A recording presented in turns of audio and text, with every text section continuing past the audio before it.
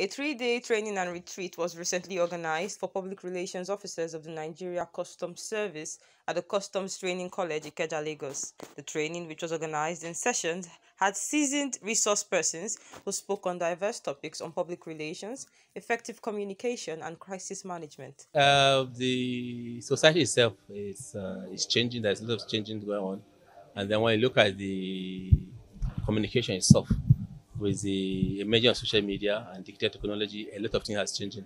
The way we communicate 20 years ago is not the way we are doing now, especially when you look at the, the use of some of the latest tools, even to issue a press list, even to host press conference. We have seen people talking about e-learning, e-commerce, online conference, and so on and so forth. So there's need for training, especially for to update our participant on latest thinking on communication process.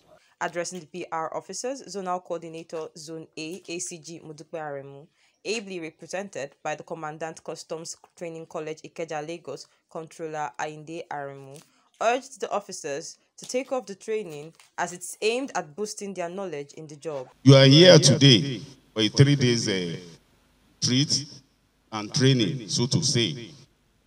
I will implore all of you to take it very serious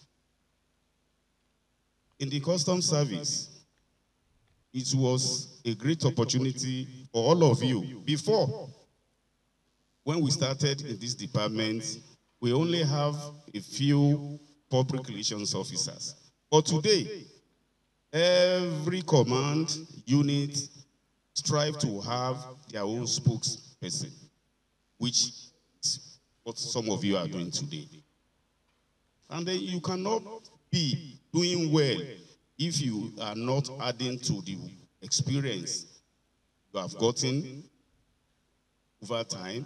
Try to, to improve on it so that your communication, your liaison with the public will be better enhanced. The retreat came to an end with presentation of certificates to the Customs Public Relation Officers in Lagos. Amarachi Kalu reporting for NewsBusta NGTV.